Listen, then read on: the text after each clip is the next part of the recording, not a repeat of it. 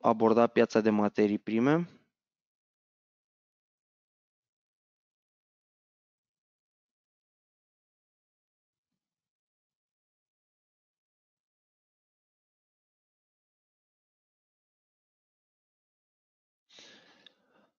Petrolul s-a aflat ieri într-o uh, perioadă de ușoară așteptare, uh, dar care a avut o uh, ușoară tendință de, de scădere. De ce? Pentru că um, invest, încrederea investitorilor a fost, uh, a fost afectată. Vorbim despre uh, așteptările acestora cu privire la uh, noi măsuri luate de OPEC pentru stabilizarea prețului.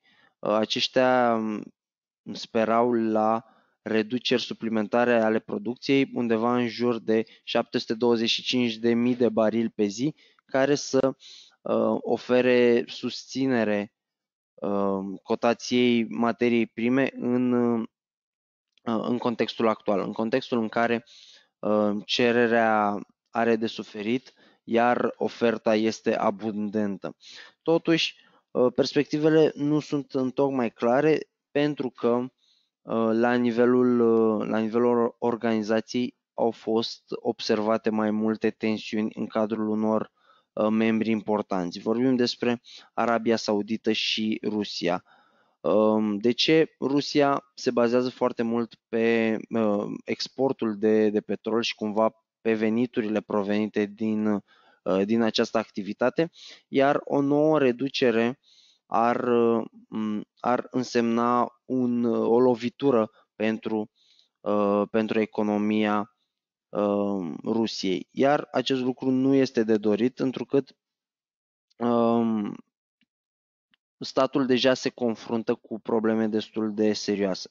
Pe de altă parte, Arabia Saudită și-ar dori uh, niveluri mai ridicate de preț, motiv pentru care pune presiune la nivelul uh, membrilor uh, organizației pentru acceptarea acestor reduceri și pentru uh, respectarea lor. Um, Rusia pare a fi mulțumită cu, um, cu nivelurile actuale, niveluri în care contractele futures pe petrol indică un, un preț undeva în intervalul 50-60 de dolari per baril. Iar acest lucru ar putea să, să ducă la, la tensiuni în timpul ședinței, ședinței OPEC, OPEC și OPEC Plus care uh, vor avea loc uh, mâine și, și vineri la Viena.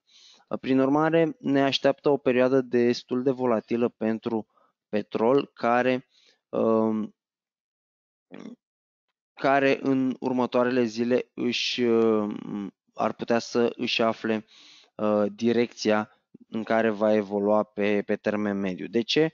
În cazul în care uh, vor fi anunțate noi reduceri de producție, am putea să asistăm la, la o ușoară tendință de creștere sau cel puțin la o stabilizare a prețului în zonele actuale. În caz contrar, um, în cazul în care nu se vor lua măsuri, um, prețul s-ar putea deprecia, întrucât o mare parte din aceste așteptări au fost deja incluse în, în cotație, lucru care s-a văzut în ultima perioadă și în această secvență ascendentă începută la sfârșitul, la sfârșitul săptămânii trecute, începutul, începutul sesiunii de, de luni. Um, în contextul actual, Principalul nivel de suport pare a fi uh, în zona 43-85, care reprezintă uh, minimul local atins, atins vineri, iar uh, zona de, de rezistență pare a fi în zona pare a fi în jurul pragului 48-60 de, de dolari per baril, care um, a fost testată de mai multe ori în Uh, în ultimele sesiuni, dar fără să aibă succes.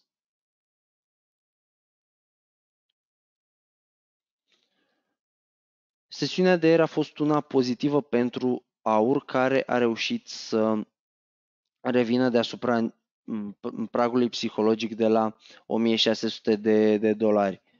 Um, materia primă avea nevoie de un motiv, un motiv solid pentru a atinge acest obiectiv și a depăși această, această limită, care a venit odată cu, odată cu anunțul reducerii de dobândă din, din SUA,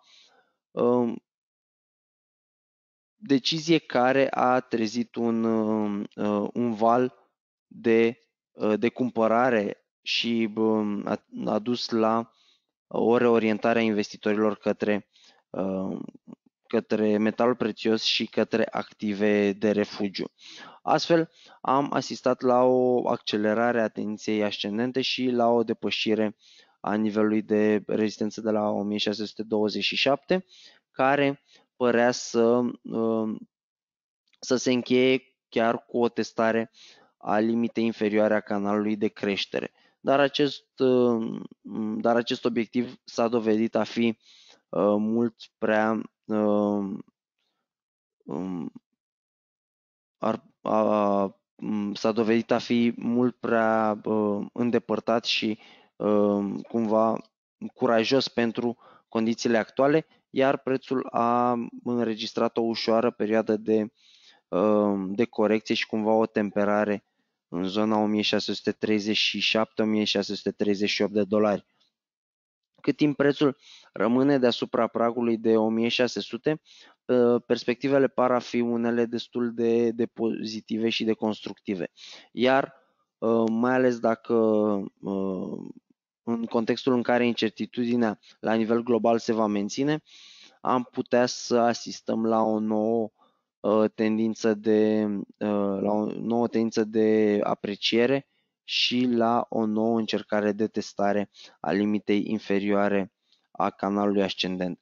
Uh, în eventualitatea unei spargeri ne-am putea aștepta la o accelerare a acestui impuls, uh, iar următoarea zonă de rezistență este undeva în, uh, este undeva în jur de 1685 de dolari, care reprezintă limita superioară. A doua parte a zilei ne aduce date interesante din SUA. Vorbim despre uh, indicatorii ISM non-manufacturieri, dar și despre uh, date din, uh, privind piața petrolului. Stocuri, uh, raportul oficial privind stocurile de petrol, unde se așteaptă uh, o nouă creștere a acestora, 2, 2,6, cu 2,6 milioane de barili. Um, dacă ținem cont de Uh, raportul uh, API de ieri, care a adus o valoare mult mai uh, redusă față de, de cea așteptată, ne-am am putea să sperăm la, um, la o um, la o confirmare a acestui, acestui scenariu și cumva la o repetare a situației de ieri. Dar um, având în vedere că ședința OPEC este la o distanță de, de doar o zi, uh, interesul investitorilor s-ar putea orienta către uh, acel eveniment și cumva ar putea să, să ignore uh, aceste detalii. Prin urmare, sesiunea de astăzi este foarte posibil să ne aducă în continuare o evoluție interesantă și, un, și niveluri de volatilitate ridicate, dacă ținem cont de uh, Um, uh, de performanțele din ultimele perioade. Vă mulțumesc pentru atenție și vă urez o zi bună în continuare și spor la pipși. La revedere!